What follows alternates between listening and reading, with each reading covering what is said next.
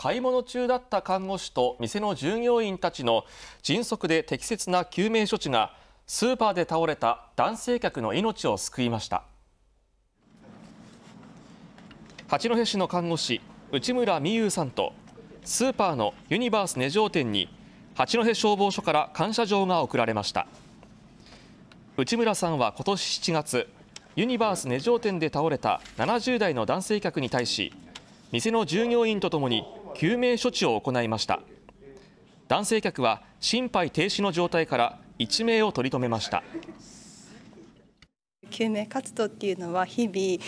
あの先輩方からご指導されて身についてきていたと思うんですけれども無事に社会復帰できたっていうことがあのとても嬉しく思いますし